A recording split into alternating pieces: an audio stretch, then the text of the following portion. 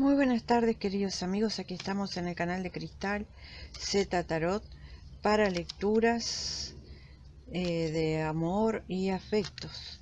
Estamos haciendo lecturas cortas para poder hacer más en este mes y así responder más preguntitas concretas. Vamos al signo de Acuario. Si no te hallas en esta, estarás en algunas de las otras que subiré porque voy a subir más en el mes. Aquí tenemos. Eh, parece que hubo un cierre de ciclo hace un tiempo en tu vida.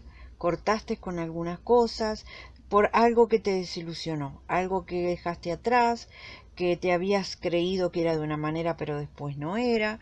Bueno, pero eso te libera. Esto, gracias a esta desilusión, cerraste algunos ciclos y comenzaste otra vez, comenzaste una rueda nueva de vida, un renacimiento, un rehacerte, ¿no?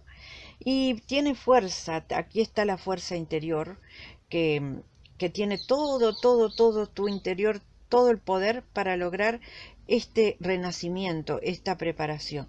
Esta carta aquí es, em, como todas, la que está al lado es buena, em, es la faceta positiva de esta carta, ¿no?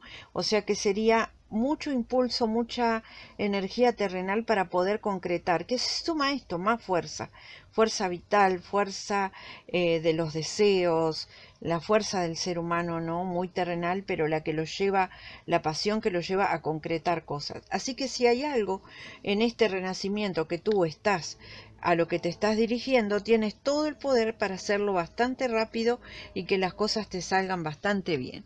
Vas muy bien orientada o orientado, así que adelante con lo que sea, con el proyecto que tiene que ver con tu nueva etapa de vida, que todo va a andar genial, ¿eh? Acuario. Bueno, un abrazo, muchas bendiciones y nos vemos en la próxima.